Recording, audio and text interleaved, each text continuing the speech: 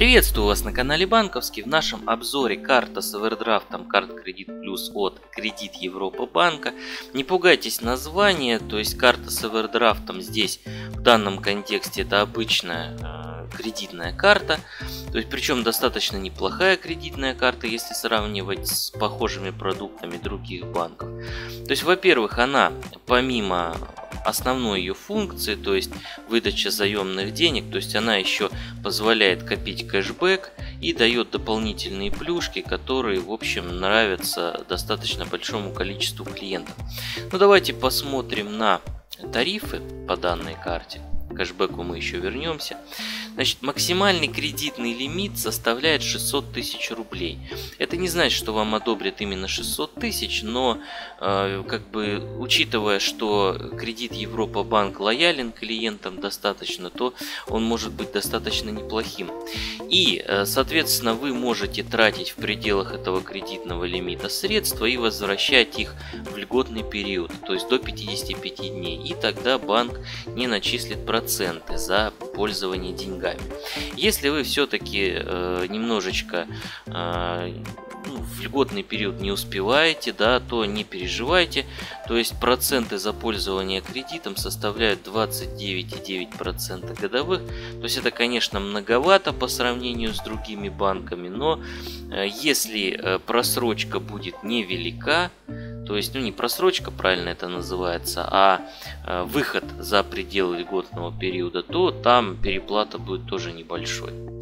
Комиссия за обслуживание карты не взимается, можно подключить интернет-банк и пользоваться всеми его э, привилегиями, да, то есть расчеты онлайн и различные там перечислений и тому подобное. То есть много чего можно там делать.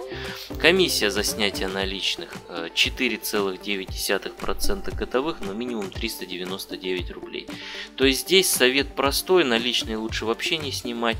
Э, а если очень-очень надо, то тогда не снимайте маленькие суммы, потому что получится это совсем уж невыгодно. Да? То есть 400 э, рублей сразу комиссия. Да? Когда снимаете 1400 отдать в виде комиссии, ну это совсем совсем не, не вариант, прямо скажем. Значит, смс-сервис не бесплатный, он стоит 59 рублей. Поэтому как бы э, смотрите, нужен он вам или нет, но лучше, конечно, подключить, чтобы банк э, держал вас в курсе, какие транзакции проводятся по карте. Значит, то, что касается привилегий, есть программа привилегий от MasterCard. То есть она в принципе стандартная по всем картам, в том числе и дебетовым. Если вам интересно, можете почитать. Я сейчас на это не буду обращать особое внимание. То есть тут даются скидки и подарки вот в указанных категориях. То, что касается бонусных баллов. Бонусные баллы выплачиваются в процентном отношении, но имейте в виду, что 1 балл равняется 1 рублю. То есть, например, если вы совершаете, скажем, э, покупку на 100 рублей, и у вас 7% в виде бонусов начисляется, то вы получите, соответственно, 7 рублей в виде баллов. Ну, 7 баллов или 7 рублей, да.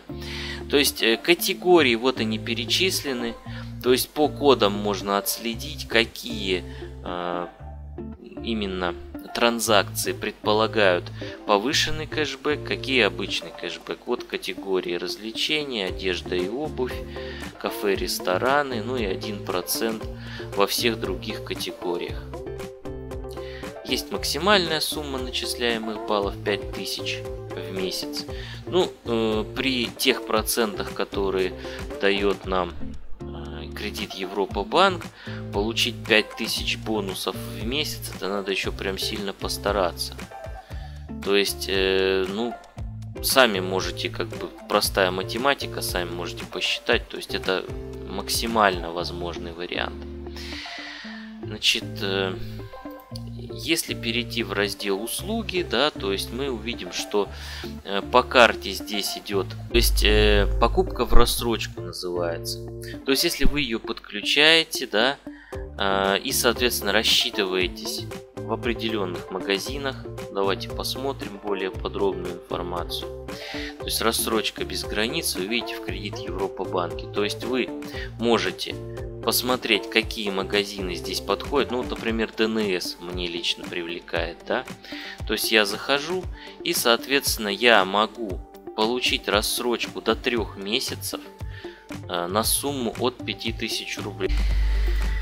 Но опять же, говорю, не все магазины, только определенные. Поэтому смотрите. Ну вот, собственно, категории еще раз тут проиллюстрированы какие. Э, в целом, вот если давать оценку данной карте, то именно как карта рассрочки, не побоюсь этого слова, как многофункциональная карта, которая предполагает еще и рассрочку, эта карта может оказаться очень даже выгодной.